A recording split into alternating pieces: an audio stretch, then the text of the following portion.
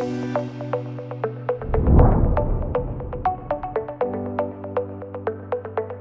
Well, welcome friends, Apostle Dwayne here, and I just want to take the time to talk to you today about the glorious step every believer is called to, and that is the step of being baptized in Christ Jesus, water baptism. Now, you may ask the question, you know, why be water baptized? Well, first, let us look at our Lord and Savior Jesus Christ and the fact that he too embraced baptism as a part of his journey in fulfilling all righteousness as declared by his Father. And we see this in Matthew chapter 3. And I want to read this here for you if you can just follow with me. It says, As soon as Jesus was baptized, he went up out of the water.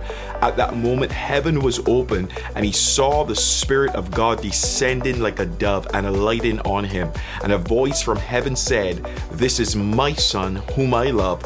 With him I am well pleased. And so here we see again the Father revealing his pleasure pleasure concerning Jesus as he walks in what was revealed as righteousness before God. And John the Baptist, who was his cousin, who was baptizing, didn't even want to baptize him because he knew Jesus was Lord. But still, Jesus said, I must fulfill what is right in my Father's eyes. I must fulfill all righteousness. And so, baptism is something that was embraced by Jesus. He set the example, but it was also something that he commanded. In Matthew 28, when we hear the Great Commission coming from our Lord and Savior, he says these words Matthew 28, verse 18 to 20. Then Jesus came to them and said, All authority in heaven and on earth has been given to me.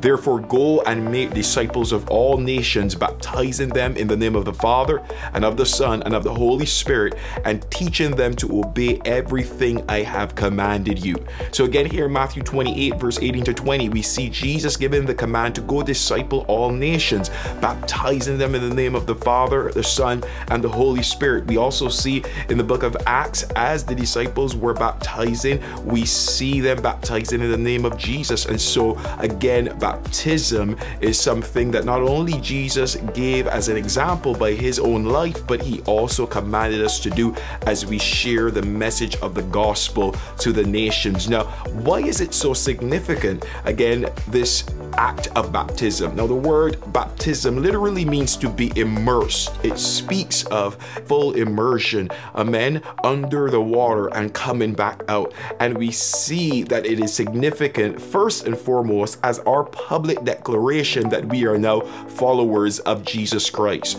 In the book of Acts, chapter 2, verse 41, this is what it says Those who accepted his message were baptized. We see there was a great harvest there, but those who accepted the message of Jesus were baptized. And so the first significance of baptism is that it is a public declaration that you are a follower of Jesus Christ. Second of all, it is a declaration publicly that you have began a new life in him. 2 Corinthians 5:17 says that you are now a new creation in Christ Jesus. All things have passed away and behold all things have become new and you have now been conformed to be his agent of reconciliation. Amen. Whereby Christ can plead through you to a lost lost and dying world, saying, Be reconciled to God. In other words, Jesus wants to use you, amen, as a carrier of his glory and a carrier of his good news. But it is the declaration that you have started this new life in him. In fact, when we look at what the word of God says in the book of Romans, Romans chapter 6, verse 4, let me read it to you. It says this We are therefore buried with him through baptism into death, in order that just as Christ was raised from the dead through the glory of the Father, we too may live a new life. And so we know Jesus went into the grave, but on the third day he rose again. And beloved, baptism is a sign of that. When we are immersed into the water, it's a sign again of our old life, amen. Again, being suppressed, but our new life as we rise from the water, just as Christ rose from the dead, that we are rising in new life, amen, and beginning a new life in Christ Jesus. And so it's a public declaration of your new start, of your new beginning in Christ. It is also, thirdly and last of all, a public declaration that you are now a part of the family of God. Let's listen to what the Word of God says. In Galatians 3, verse 26 to 27, it says, So in Christ Jesus you are all children of God through faith.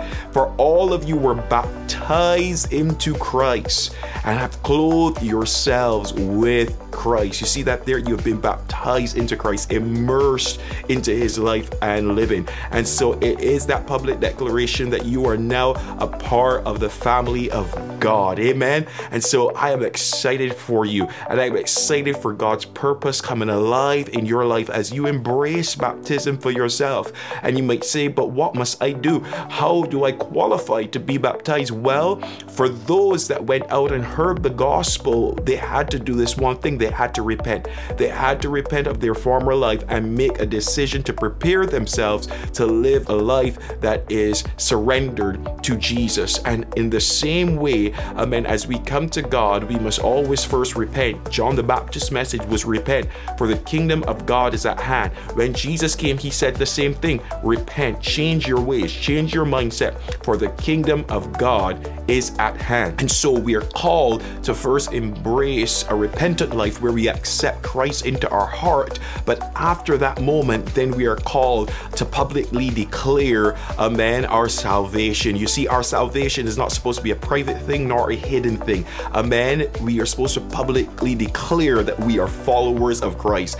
And going through baptism, water baptism, is the announcement, amen, the symbol of that very thing. Praise God. Now, some of you, you may have said, but you know what? I was baptized before, but my life did not live up to what Jesus has called me to, and I did not walk as a follower of Jesus Christ. Well, maybe in that moment you may have been encouraged to do so, but you may have not been at that place where in your heart you would have surrendered yourself to the Lord Jesus. But if you are here now and you have surrendered to Jesus, beloved, we encourage people to be baptized again. Amen. Because in the midst of this moment, you are now surrendering your heart afresh to Him, and it is only fitting that you would make that public declaration that again your life is in service to Him. So we encourage people, whether you are baptized, maybe when you were young, maybe your parents encouraged you, but you didn't quite understand. But now here you are accepting Christ in your heart, giving your heart to Him afresh.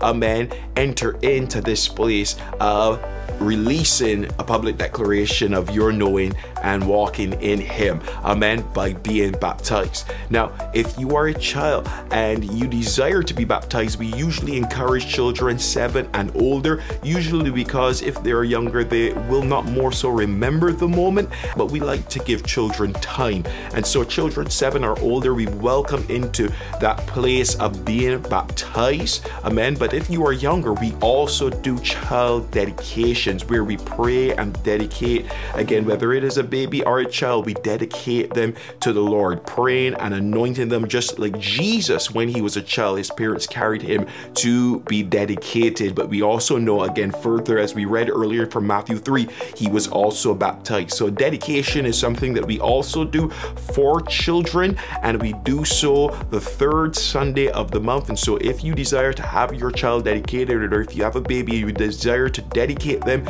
to the Lord like Jesus was, again, sign up. Our forms are here that you can sign up on our website, and also you can give us a call, and you'll see the number just come up there on the screen, whereby you can give us a call and get in touch with us so that you can start that process for your child. But if they are seven and older and they have a conviction, a man of Jesus and they desire to live for Him, we encourage them to be baptized. And we usually do our baptisms on the fourth Sunday of the month. And so we are excited for you.